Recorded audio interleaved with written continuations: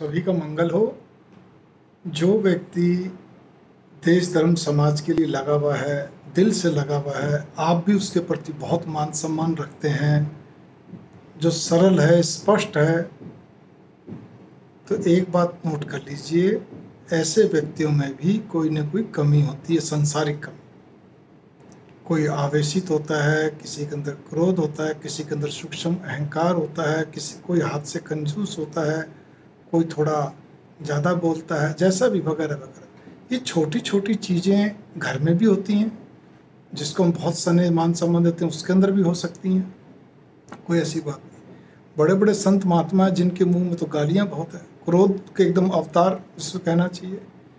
लेकिन मैं एक जनरल बात कह रहा हूँ तो इसीलिए हमें भावना के अनुरूप चलना चाहिए। उनकी भावनाओं को समझ के मेन जो उनका है, आपके लिए प्रत्याशीर्वाद सने, उसको काउंट करके चलना चाहिए, ना कि उनके निजी जीवन, निजी सब